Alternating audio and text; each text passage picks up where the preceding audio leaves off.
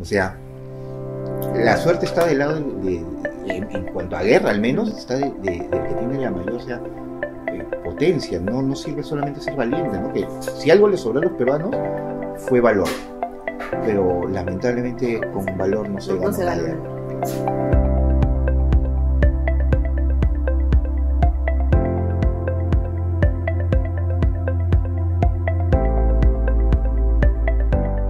Hola, soy Victoria y estamos nuevamente en Librería Crisol y hoy vamos a conversar con Gastón Gaviola por Perú Batalla 2.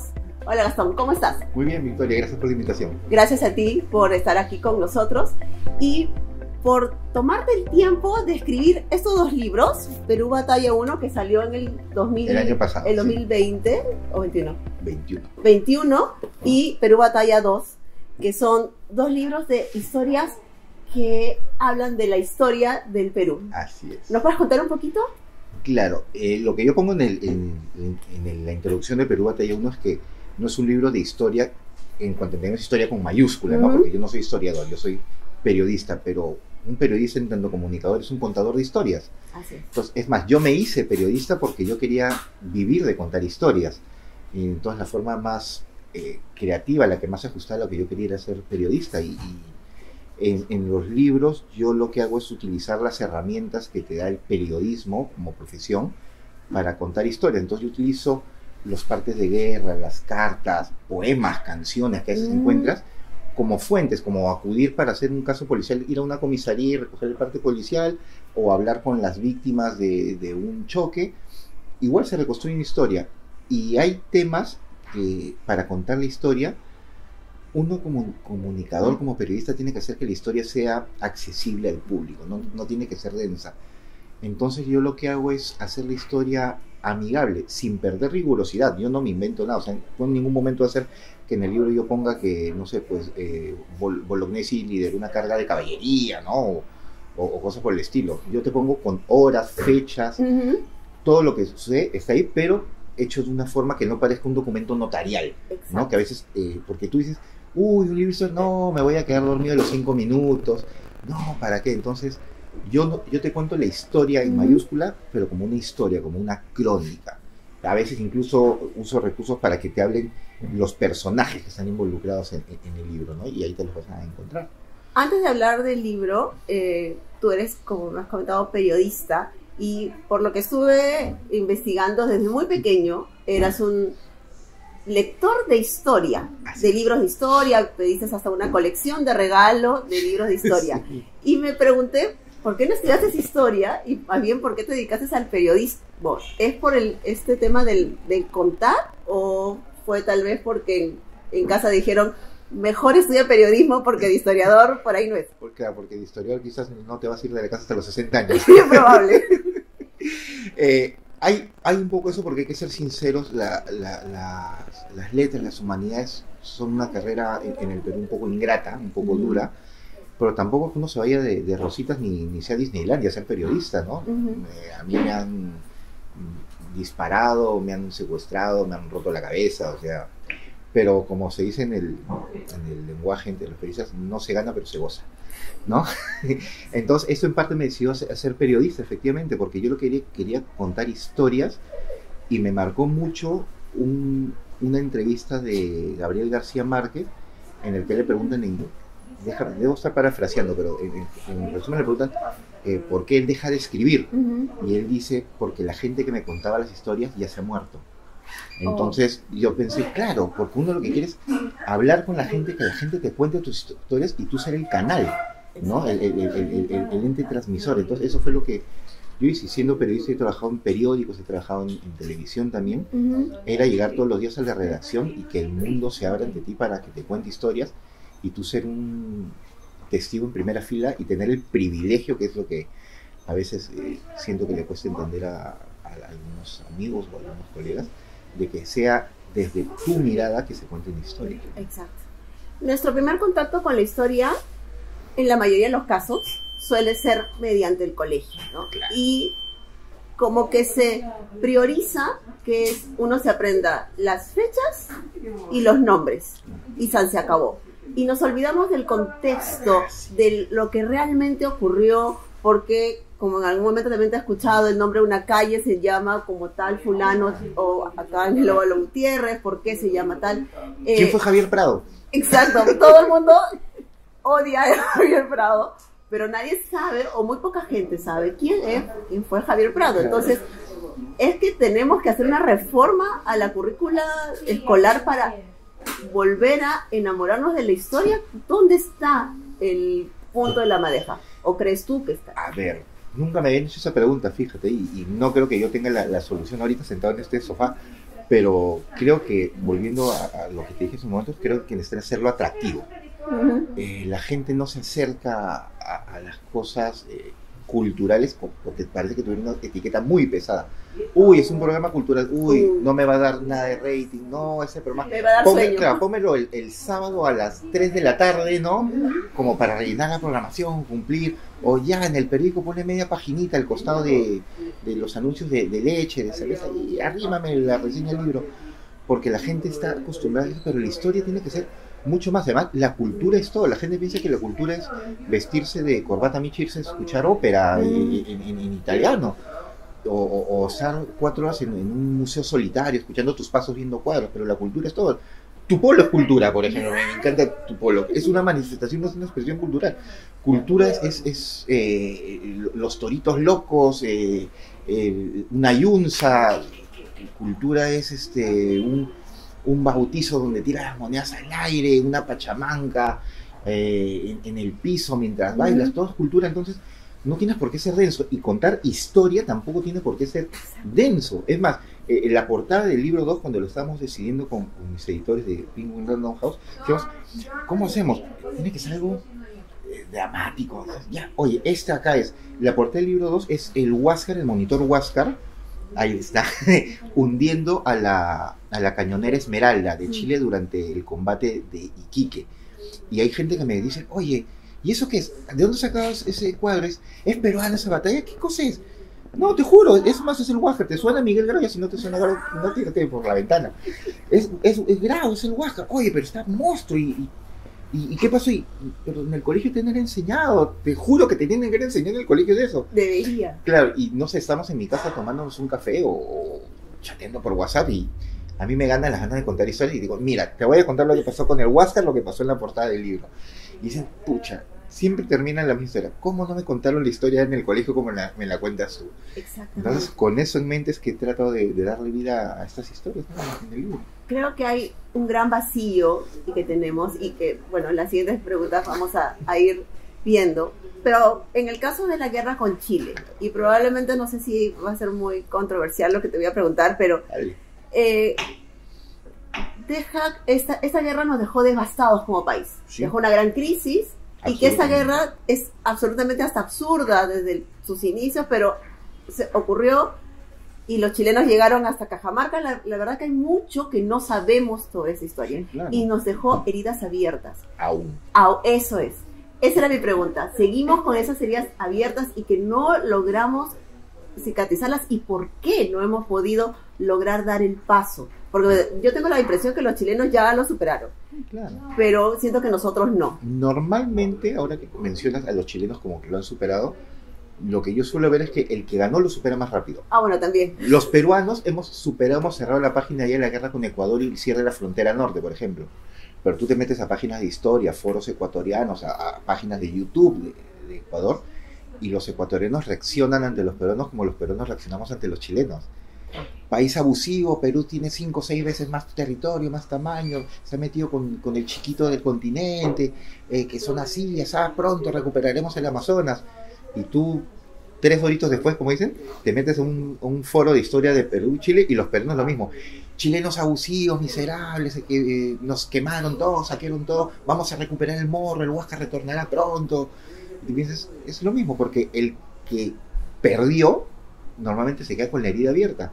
Y tan abierta, Victoria, que acuérdate el año pasado que fue la campaña presidencial, un candidato a la presidencia pidió o, o lo lanzó como un caballito de batalla recuperar el Huáscar. Y al toque me llamaron varios colegas de, de algunos canales, algunos diarios, y decir, Gastón, ¿qué piensas tú de esto? Yo le dije, bueno, lo primero me parece un despropósito porque el Huáscar es un trofeo de guerra. Y los trofeos de guerra solo se recuperan en guerra. Y yo soy, voy a ser el primero en salir a decir que no debemos ir a la guerra. Así como, y lo cuento en una historia en la materia de Tarapacá, un policía peruano, Mariano Santos, de la Guardia Arequipa, captura el estandarte del segundo de línea, él mata con sus propias manos, fue una batalla súper sangrienta Tarapacá, él mata con sus manos a, a los guardianes de, de la escolta de esta bandera, de esta generala, que era roja con una estrella de oro hermosa, y los chilenos, tú dices, ya, ¿en qué museo puedo ver la, la bandera que capturamos los peruanos? No, los chilenos la recuperaron a sangre y fuego, la recuperaron en Arica, estaba guardada en la catedral de Arica. Toman el morro, eh, derrotan a la guarnición de Arica y los chilenos recuperan su, lo que era un trofeo de guerra peruano, los chilenos lo recuperan y lo recuperan con violencia en una guerra. Entonces, el Huáscar no nos van a devolver pero ni un tornillo del Huáscar los chilenos. O sea, me, me da vergüenza ajena cuando decimos, y los eh, militares, los marinos a los que pregunto, dicen lo mismo. Jamás vamos a reclamar el Huáscar ni que estuviéramos locos. ¿No? Te- bueno, te lo dicen eso en, en- en- privado. en privado, evidentemente. Y además, eh, en el Huáscar, que es algo que poca gente sabe, murieron tres comandantes de la guerra. Murió un comandante peruano y no uno, murieron dos comandantes chilenos. Murió Prat, el de la portada de, de mi libro, él fallece cuando eh, acaba en la cubierta del Huáscar, cuando el Huáscar lo espolonea para partirlo en dos, y murió el comandante Manuel Thompson, que es algo que muy, muy poca gente sabe, el Huáscar combatió contra el Perú con bandera chilena. Entonces, hay, hablamos de la batalla de Arica, pero casi nadie conoce el combate de Arica.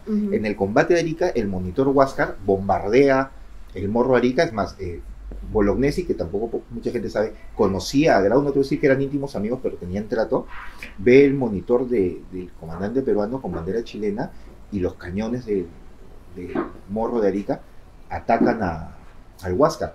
Y el comandante de la Independencia, que fue el buque que combatía lado a lado con el Huáscar, cuando los dos eran peruanos, se sube el monitor eh, Manco Capa, que era un vejestorio, que ya hablaremos si quieres después de eso, que estaba en Arica, y este buque peruano que apenas andaba a, a tres nudos por hora cuando el Huáscar podía desarrollar 10, o sea, el triple, le mete un cañonazo al, al monitor Huáscar chileno y parte en dos el comandante chileno. Que cuando yo le, yo le mando el texto a mi editor, me dice, Gastón, creo que te ha sido un poquito por... Creo que se te pasado la mano con eso.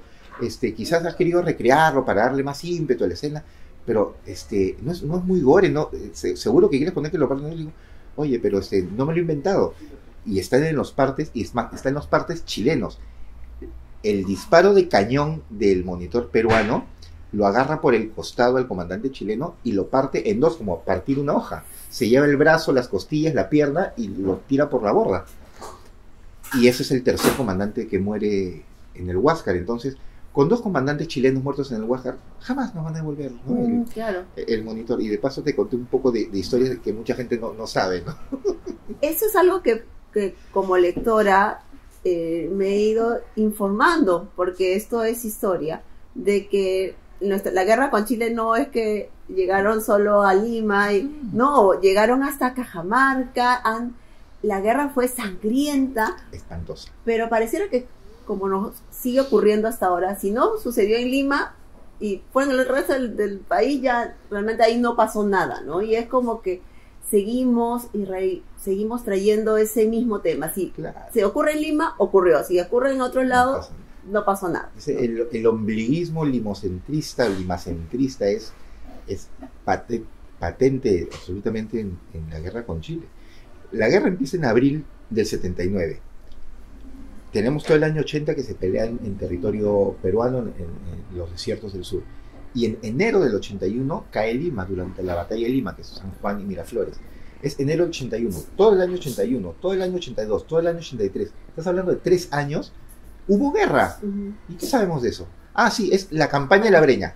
Tres, tres años lo campaña. en una bolsa, pra, toma tu campaña de la breña y arréglatelo con tres años. Porque como no pasó en Lima, no, pues no, no pasó y lo vemos así Se queda rapidito en el, nomás. en el ¿no? baúl del olvido. Sí, claro. que, que es muy duro y que no nos ayuda como, como ciudadanos para reconstruir, o sea, conocer nuestra historia y ahora no sé si estás de acuerdo conmigo, eh, ¿nos podría ayudar a no cometer los mismos errores o esto es una frase cliché nada más? Es una frase que de tan cierta y de tan repetida, creo, Victoria, se, se ha vuelto cliché. Porque sí, ¿no? Hay, hay una película de Juan Carlos Soganes que se llama Gloria del Pacífico, en el que el, el protagonista, magnífico, Reinaldo Arenas ahí, eh, es un excombatiente del, del Morro de Arica y está en Tacna cuando Tacna está por regresar al Perú y le dice a, a su hijo o a su nieto, no recuerdo, quien no conoce su historia, no, uno no ama lo que no conoce, le dice. Por favor, te quiero contar mi historia, mi épica de la batalla de Arica, por para que tú ames al Perú, porque uno no ama lo que no conoce. Y eso encaja con que el que no conoce está condenado a repetirlo, ¿no? Yo a veces veo, no sé si te ha pasado, ves recuerdos de Facebook de hace 5, 8, 10 años, y a veces yo ponía en Facebook cositas de, de política o, o comentarios, ah, estamos en, en una desgracia así, o tal y cual.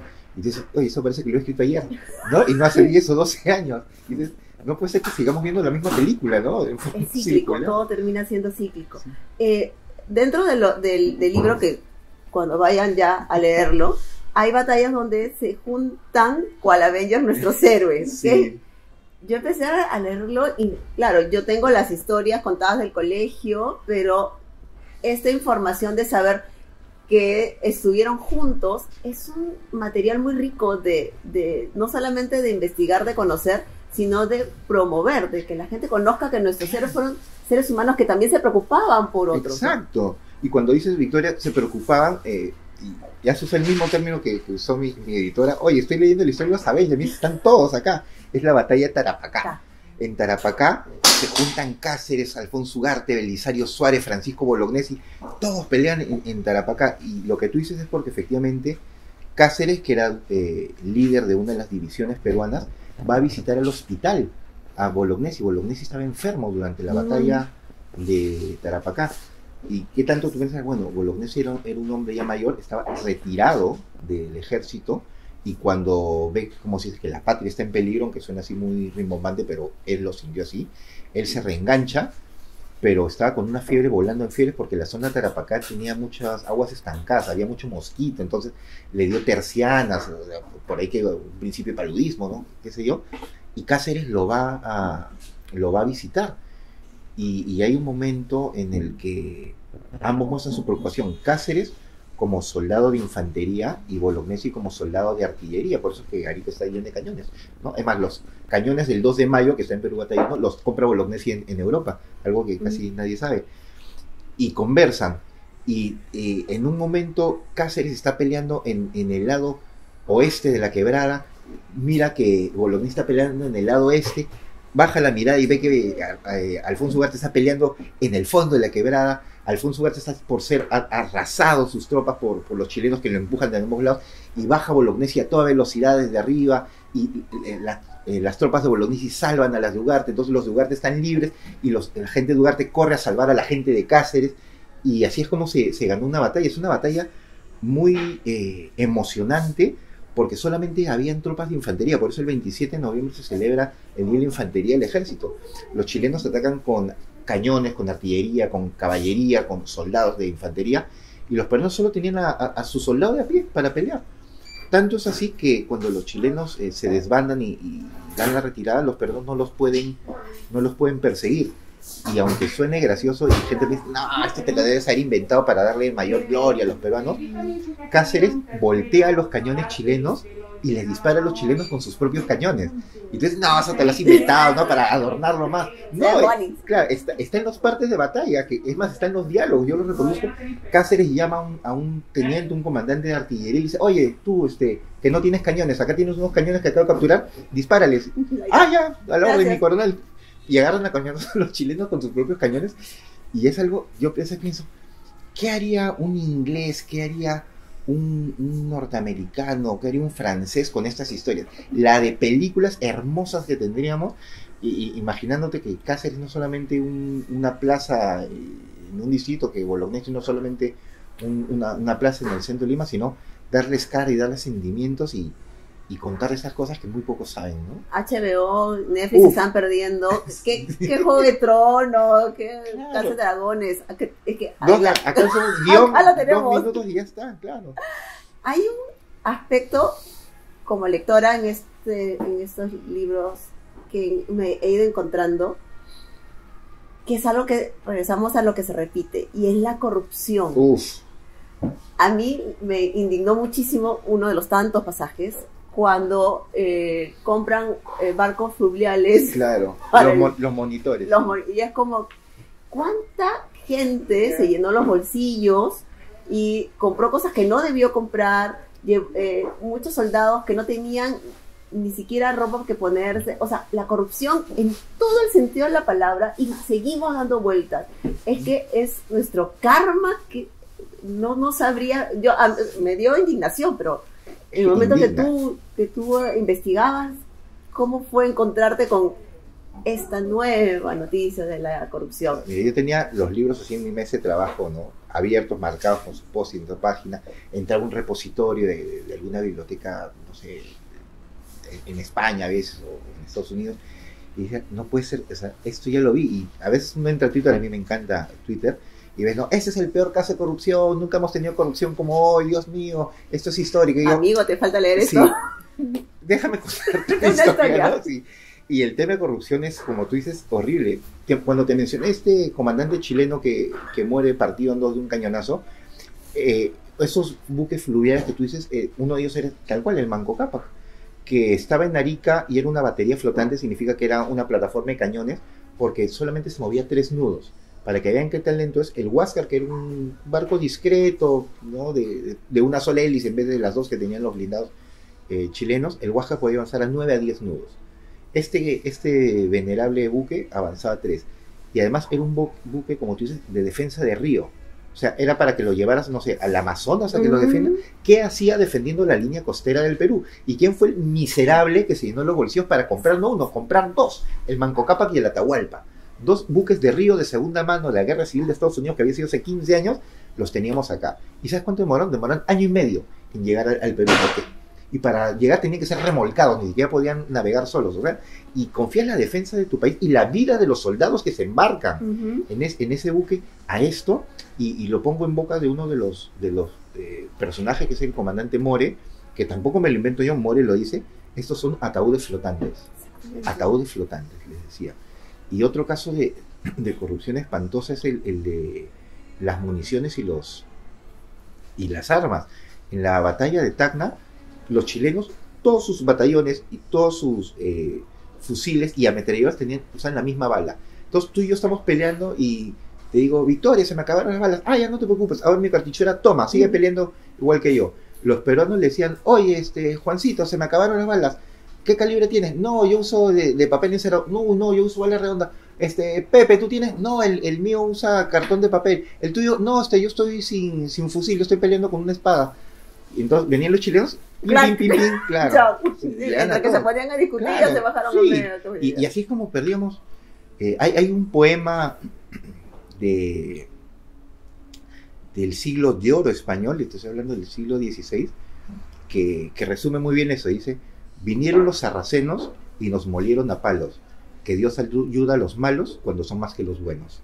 O sea, la suerte está del lado de, de- de- en, cuanto a guerra al menos está de- de- del que tiene la mayor o sea, eh, potencia no no sirve solamente ser valiente no que si algo le sobró a los peruanos fue valor pero lamentablemente Con valor no se No- no ganó se una guerra. Claro. En tu investigación, ¿has encontrado alguna contradicción en algún mismo hecho histórico o todo ha sido exacto? este sí hay algunas contradicciones eh, o, o hay algunas eh, digamos formas diferentes de abordar un- un tema Por ejemplo, para los, eh, las fuentes chilenas, la historiografía chilena, el comandante Juan Guillermo More, eh, perdón, el comandante Arturo Prat, el comandante de la Esmeralda, salta al abordaje en el Huáscar y muere combatiendo, eh, tratando de llegar al- a la torre de mando y matar él personalmente a, a Grau con su pistola y su sable. Para la historiografía peruana, efectivamente Prat llega al Huáscar, eso está absolutamente probado porque el cadáver estaba en, el, en, en la cubierta del Huáscar, pero producto de la caída. Que es que cuando el Huáscar impacta al, al buque chileno, Ujú. Prat cae al buque y en qué se apoyan los peruanos, en que nadie se lanza al abordaje y se lanza solo, siendo el comandante, porque Prat se lanza al abordaje y solo lo siguen dos personas. Entonces los peruanos dicen, se cayó. O sea, eh, Prat no saltó, se cayó. Ujú. Y los chilenos dicen, no, Prat era un hombre muy valiente, de eso no había duda. Y además conocía a Grau, no te voy a decir que eran íntimos amigos, pero sí se conocían. Y que dicen los chilenos que cuando Prat grita el abordaje, los chilenos no lo escucharon. Y que por eso saltó solo. Entonces tú dices, "Mm, ¿con cuál de las dos te quedas, no? Hay, hay, hay que verlo. Y es muy, muy discutible de, de ambos lados. Y como es, hay, hay, hay varias. Eh, Pongo en, en- en el Perú Batalla 2 el tema de, de la muerte de Leoncio Prado también, por ejemplo, que algunos dicen de que lo fusilaron por, eh, por simplemente por ser el, el- un prisionero que fue devuelto al Perú y que él debió eh, quedarse eh, al margen de la guerra porque su palabra de honor decía que él al ser canjeado ya no podía pelear. Hay fuentes eh, chilenas que mencionan de que lo fusilaron porque él era un montonero. Hay fuentes peruanas que dicen de que no lo fusilaron, que simplemente le metieron dos tiros en la cara cuando los, los chilenos se estaban yendo.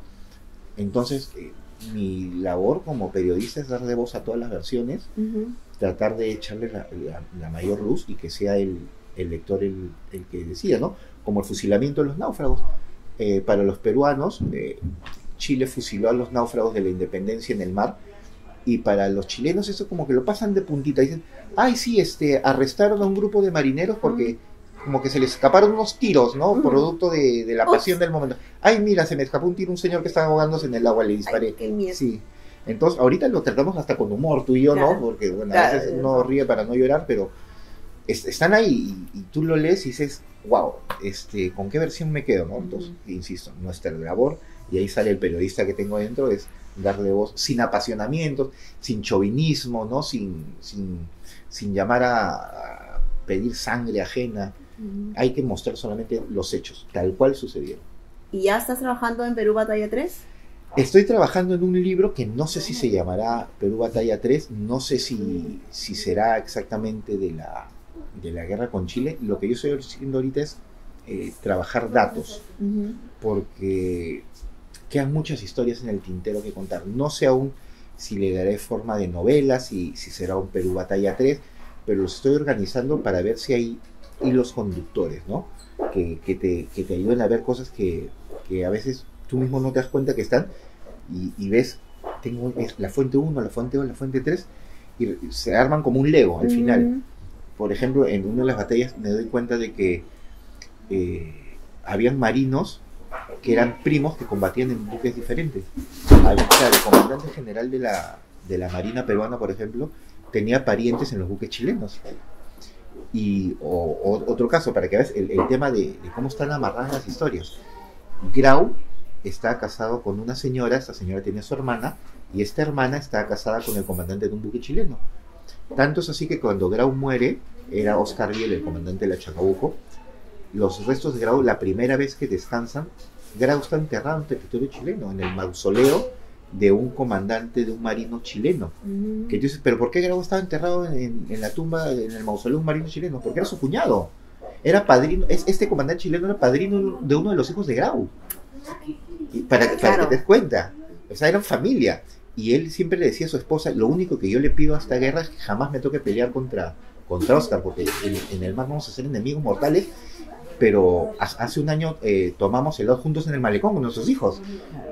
Qué, qué- qué fuerte, ¿no? Sí, claro. Eso es lo, es lo que te quita la guerra, lo- el, el saber de que esa, esa amistad eh, por, consanguínea, por, te- vas a terminar siendo un enemigo frente al, al, al- al mar porque tienes que defender tu patria, o sea, Así tienes que es. olvidarte de tu amor con, de familia porque tu amor a la patria termina siendo más grande. Es, es- es terrible, pero es cierto lo que tú dices, tal cual. El amor a la patria que demuestran los protagonistas de, de, de Perú Batalla 2 es, es inmenso, que creo que fue lo, lo que se rescata en medio del naufragio, en medio del hecatombe que fue esta, esta pelea.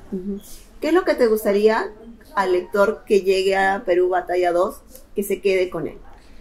Eh, dejarles la semilla de la curiosidad, que Perú Batalla 2 les diga, "Mm, quiero saber más sobre Tarapacá, quiero saber cómo era el uniforme de los peruanos. Oye, me interesó la historia de los niños soldados de Cajamarca. este, quiero investigar más sobre eso. Y, y si eres esco- escolar también, ahora tienes internet, que no tenía hace 15 años, 20 años. Yo tenía que meterme horas de horas con libros hasta la nariz en el colegio, en la, en la universidad. Aprovechar, ¿no? Oye, me, quiero saber más sobre la familia Grau que, que ha mencionado Gastón. Quiero eh, conocer más sobre lo- cómo se hundieron los buques peruanos. El 13 de, de septiembre este año, eh, eh, ahorita hemos pasado el 13 de septiembre, se conmemoró el hundimiento de un buque chileno en Chancay. Y el buque está. Tú vas al, al castillo de Chancay Ujú. un fin de semana, cuando quieran visitar, y desde una de las torres del castillo de Chancay vas a ver el sitio donde está hundida el buque chileno, la, la Covadonga. Y ahí sigue hundido. Porque es un buque que, como era de madera, no se puede sacar. Entonces, ¡ah!